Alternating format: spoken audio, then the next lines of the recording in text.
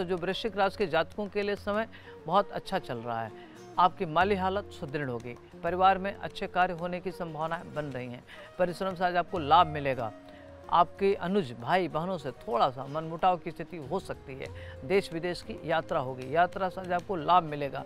व्यापार में लाभ मिलेगा, रुका हुआ कार्य संपन्न होगा, मित्रों के मिलने से आपका मन प्रफुल्लित रहेगा और मान सम्मान की स्थिति बहुत अच्छी होगी और चारों तरफ़ से आज आपके अच्छे कार्य करेंगे, जिससे आपकी ख्याति में वृद्धि होगी, आपका ख्याति बढ़ेगा।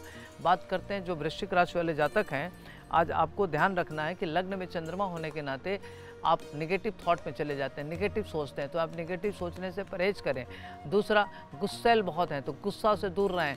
तीसरी बात है कि जब भी कोई काम शुरू करते हैं तो आपकी निगेटिव थॉट में चले जाते हैं, उसके बारे में आप क्रिटिक हो जाते हैं। तो क्रिटिक से बच करके आप उसकी अच्छाइयाँ देखिए। अगर आपको सुखी रहना तो अच्छाइयों के बारे में एनालिसिस करिए, बुराइयों के बारे में एनालिसिस ना करें। अच्छा रहेगा। अगर रियल इस्टेट में, भूम भवन में अगर कोई पूंजी निवेश करते हैं तो आज आपको लाभ मिलेगा।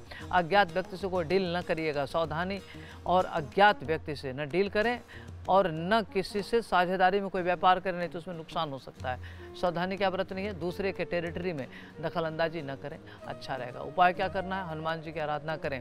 और सावन का सोमवार चल रहा है तो सावन के सोमवार में आप भगवान भोलेनाथ को बेलपत्र, भाँग, धतूर अर्पित करें, आग अर्पित करें अच्छा रहता है, आपके लिए शुभ रहेगा और उनको जलाभिषेक ज़रूर करें।